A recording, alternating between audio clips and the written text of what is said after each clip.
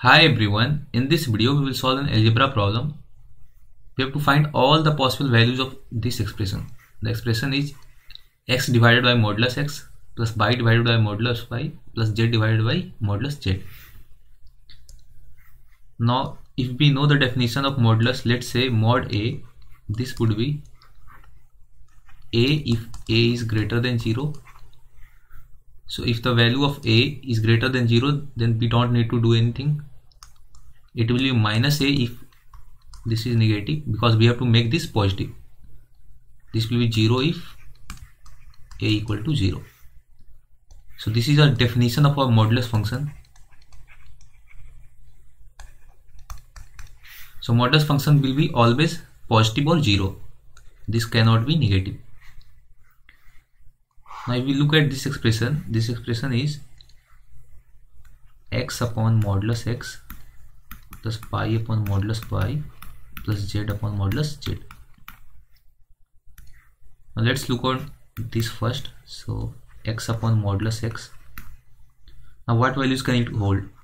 Let's say x is greater than 0 so our modulus will open like this only. So x upon x that would be 1 let's say x is less than 0 so that would be x upon minus x. That would be minus 1 now here I have missed the condition in the question. So there would be condition that all these values all these x y and z all these variables they can't be 0 so these are non-zero real numbers you can say. X y z are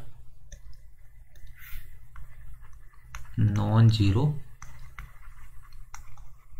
real numbers. So this would be given in the question because otherwise we can't define right? If x gets 0 then we can't define this expression. This expression would be undefined. So this is a inherent condition or otherwise it would be generally mentioned in the question.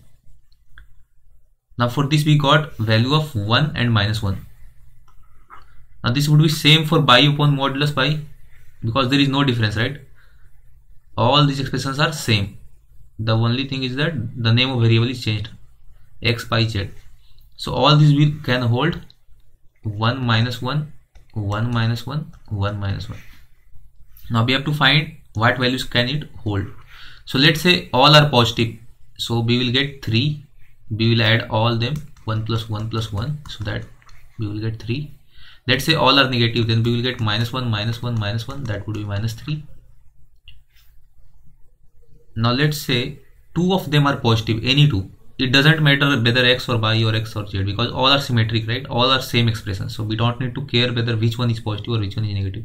Let's say two exactly two of them is positive. So we will get 1 plus 1 and 1 will be negative. So we will get 2 minus 1 1 let's say exactly two of them is negative minus 1 minus 1 and 1 is positive. So we will get minus 1 now these are the four values that are possible. Other than these four you can't get any other value. You can try. You are not going to get zero in any case. You are not going to get any value other than these four.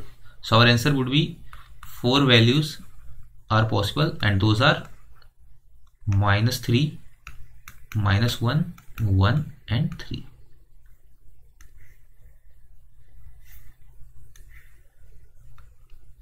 these four values so i hope you got this. This was a very simple question simple and easy question. But you have to be slightly careful. Let's meet in some other video. We will discuss some more questions some harder level problems. Thank you